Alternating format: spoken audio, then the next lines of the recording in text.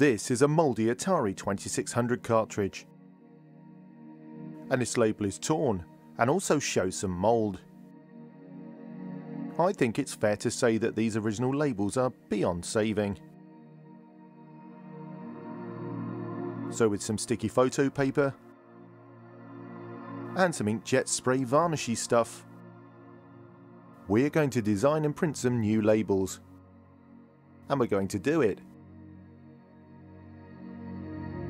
right now. Mark fixes stuff.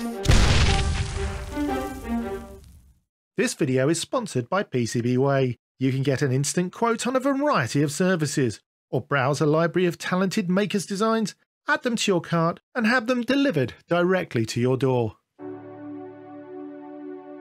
These cartridges were in a lot I got off of eBay. I paid about 70 pence each for them, including shipping.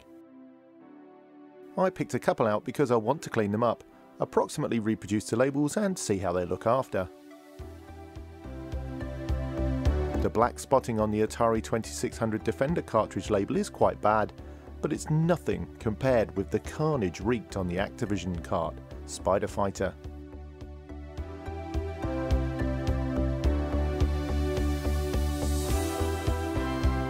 You can just imagine how long these have languished in the damp, forgotten and unloved. Miraculously, both cartridges work, although they do take a hell of a wiggle. Not in my console, thank you. We'll start with Spider Fighter. Using my trusty hairdryer to heat the adhesive, we start to remove the old label.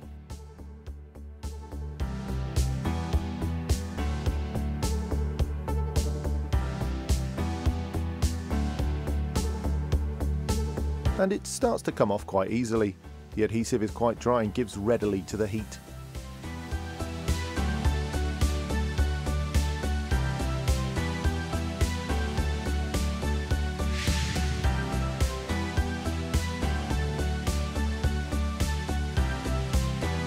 This label is for the international edition, but I think we'll do a simple English version for the replacement.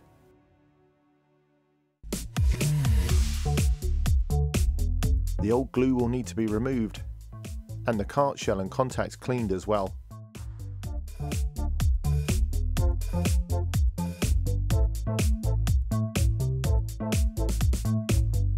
Let's see what horrors lurk inside.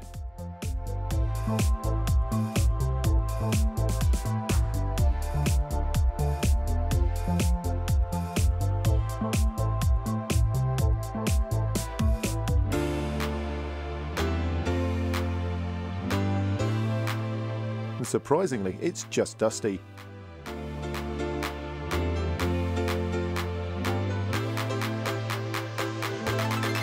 The PCB looks to be in good condition, although the contacts are really filthy. At least they're not corroded.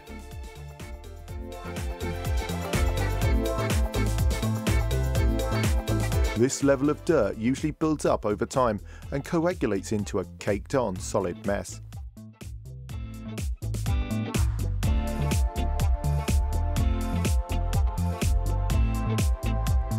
Normal cleaning methods don't begin to move the crud and it sticks resolutely fast to the contact fingers. The next contender for the contact cleaning crown is Brasso wadding.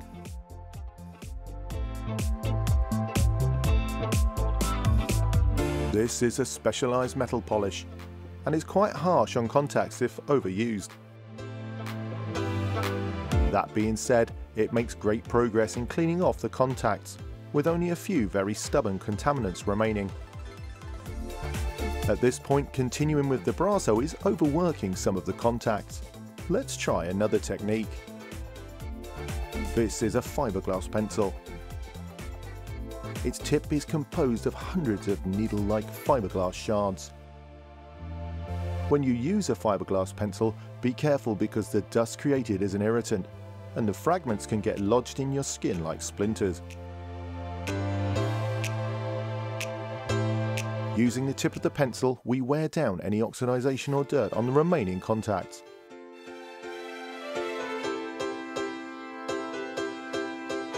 Contacts are looking much better now, and should put paid to any need to wiggle the cart in the console.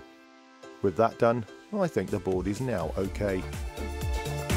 Turning our attention to the case, we need to carefully remove these spring-loaded inserts.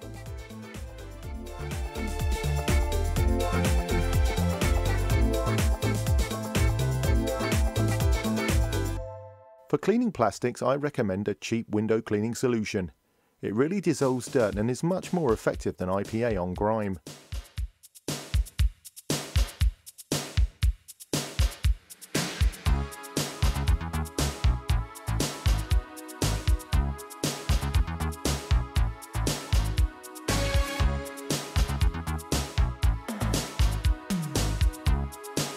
Sometimes a stubborn patch of dirt might need an extra soaking.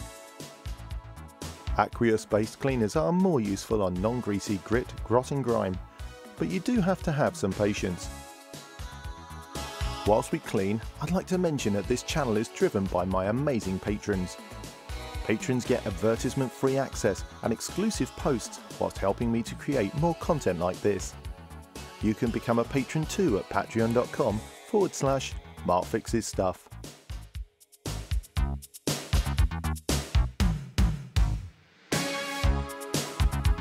With the inside of the cart clean, we need to get this glue off. For that, we need isopropanol alcohol. IPA, as it's more commonly known, is a solvent and does a good job of gently breaking down the old glue. But even when I'm chemically assisted, it's slow going.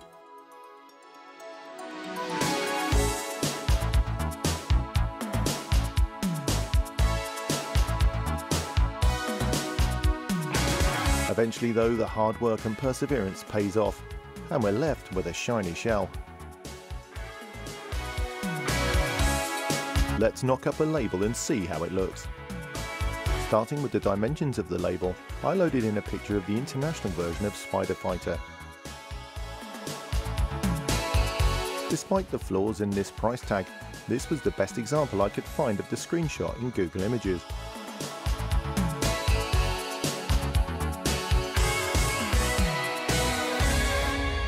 My first task was to clean up the gameplay shot a bit. I wanted to then create a new layer with just that action shot on.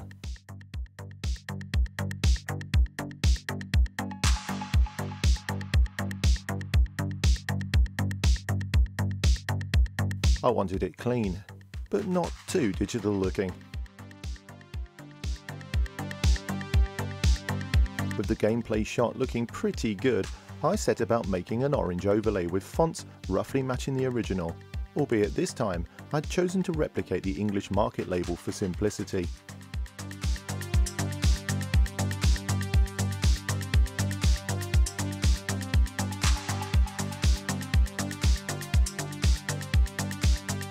Back in the early 80s, the fonts would have been applied by hand to the label designs, often using Letraset characters this can make matching the spacing and feel of the text difficult with a computer package.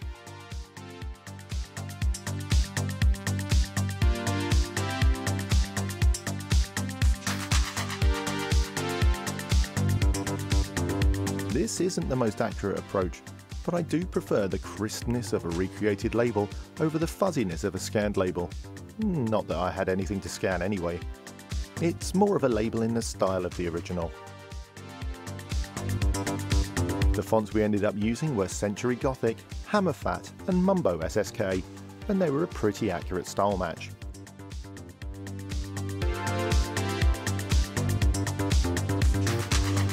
I also manually tweaked some of the spacing because the font spacing was too large and regular to match the human designed label from 1982.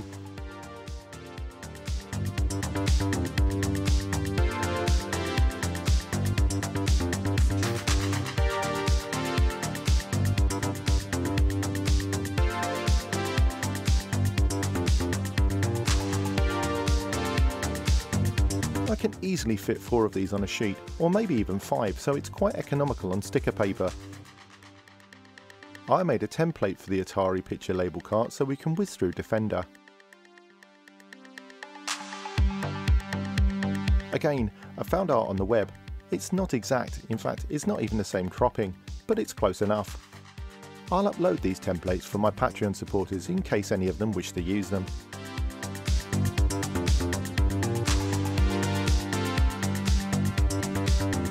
Let's see how this goes.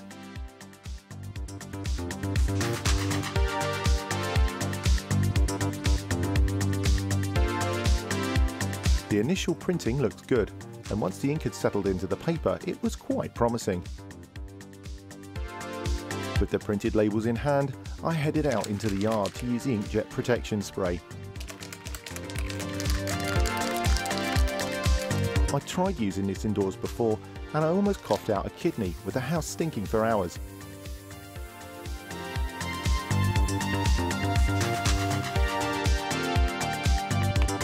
As well as protecting the print from smudges and fingerprints, it also makes the colours pop nicely and adds UV protection to stop fading. I can't wait for it to dry now.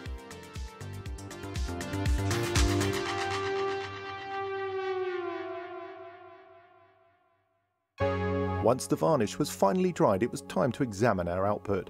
Whilst not a perfect match, I think that Spider Fighter is a good aesthetic replacement and it captures the feel of the original English language version. Defender is a much closer match, and although the colours are way off, that could be due to yellowing or bleaching on the original as well. Even Atari weren't that consistent from cart to cart with their labels. To cut the labels out, we're going to use this rotary cutter. Unlike a craft knife or scalpel, these won't drag the surface of the paper. As a guide, we'll use this cork back steel rule. This will stop us slipping and scratching our labels.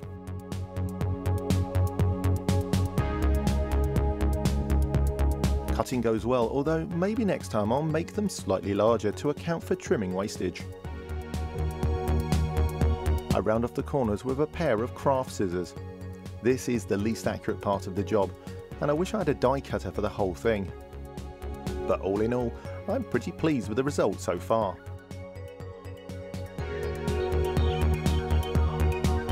I think this is appealing. Sorry. With a bit of to and froing for alignment, eventually I plump for the position and I stick the label down.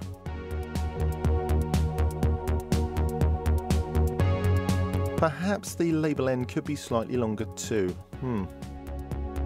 Overall, I'm pretty pleased with how this has turned out. It was a very mouldy cartridge that now looks less like a biohazard.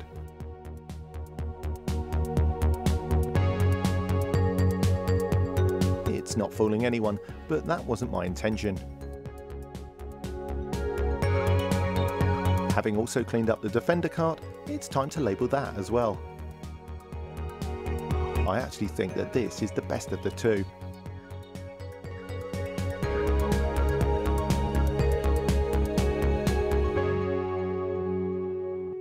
And the spray really does protect from smudging and marking. If it wasn't for my bad cornering skills, this would look amazing.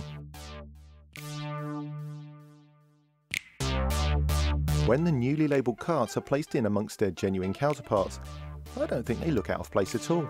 I'll link the paper and protection spray that I used below because I think this has come out a lot better than I expected.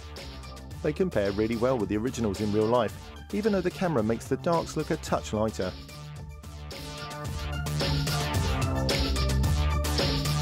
But enough about me. Have you done this? What method did you use? And do you have any tips for me to get even better results? I think the process can be improved, but for now I'm really pleased. A massive thank you to my patrons appearing on the screen right now. These wonderful people make my videos possible. You can join them and see your name on the screen too by visiting patreon.com forward slash markfixesstuff.